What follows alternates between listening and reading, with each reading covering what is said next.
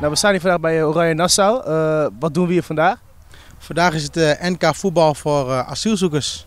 En ja, ik hoor dat Amsterdam meespeelt en zo. wie speelt allemaal mee?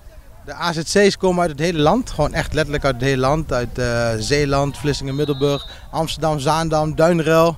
Ook uit het noorden hebben we Dronten, Sneek, die heeft meegedaan. Almelo zelf, Haddenberg. Ze hebben eerst allemaal voorronden gespeeld, regionale voorronden. Uh, die regels hebben wij ingedeeld per AZC, die zich heeft opgegeven.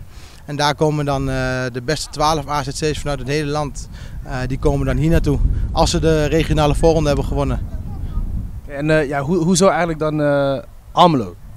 Oh, ik kom zelf uit Almelo. Ik heb hier mijn connecties. Ik heb mijn connectie bij Oranje Nassau, bij, uh, bij Herakles. En uh, ja goed, waar in het stadion in Nederland kun je voetballen.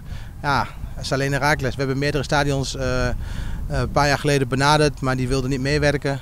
Nou, en Herakles heeft gelijk gezegd, dat is prima, het veld is beschikbaar. Dus zodoende. En voor die bewoners is het geweldig om in een stadion te voetballen. En als je uitgeschakeld bent, is het al in ieder geval mooi om in een stadion te zitten voor hen. Is, is, het, uh, is de eerste keer? Dit is de derde editie, ja. En uh, ik denk ook de laatste keer in het stadion. Omdat uh, Heracles volgend seizoen een natuurgas gaat krijgen. Als we erin blijven, maar daar ga ik wel vanuit. Dus,